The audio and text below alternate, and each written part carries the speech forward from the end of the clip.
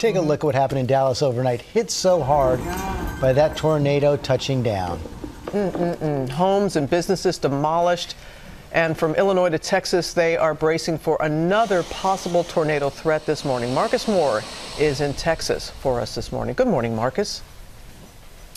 Well, Robin, good morning. It was a rough one here. You can see what this powerful storm did to this uh, this van. Several thousand pounds left tossed around. There are trees that have been snapped here, and the roof of that home just behind us, the roof torn away. And this morning, more than 160,000 customers are without power. Overnight, tornadoes striking North Texas. Oh my God. This is a tornado touching down right now. I see upward motion, strong upward motion. Lots of debris flying. The twisters destroying homes and businesses, tearing apart everything in their path. I mean, it's just really, it's a war zone. I don't know a better way to call it. I went and got my bathtub and put pillows and a mattress over me and just held on. Down power lines and massive trees now uprooted. Multiple reports of people hurt in their homes from broken glass. They got trapped people inside.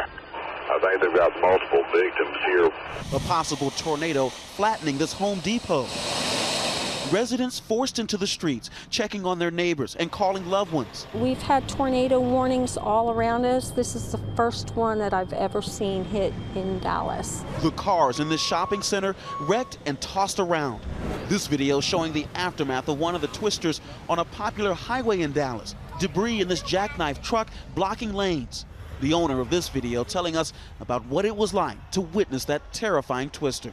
I tweeted and it was like, I think I just almost drove into a tornado. I froze because there was nowhere I could go. Several schools have canceled classes today because of the damage and also the power outages.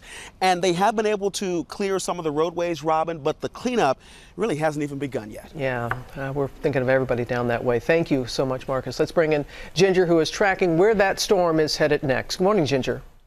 Good morning to you, Robin. The threat is now for a few states. You can see the long line of storms from Illinois right through Memphis down into Louisiana. So it's this morning. Often we talk about severe storms in the afternoon. This is kind of the second severe storm uh, season that kind of happens and moves into Dixie Alley in the fall, early winter. And it's happening this morning. Tornado warnings have been popping even north of Memphis. But I want to go ahead and focus on the state of Mississippi because you're going to see late morning that line of severe storms come through and some specific things happening even into the western panhandle of Florida. But again, Mississippi, the whole state in the severe risk today. So we thought we would focus on it, bring it out. The whole state turns yellow because you're in that convection, right? What does that mean to you? Well, in the next couple of hours, you're going to end up seeing the potential for the not only damaging winds that you've seen in that line, but the isolated tornadoes. So know this late morning into the early afternoon, the state of Mississippi, including Greenwood, which is in a severe thunderstorm watch right now, has the possibility of seeing these severe storms. I don't know if I made that clear, but I want to make sure everybody knows, George, right now.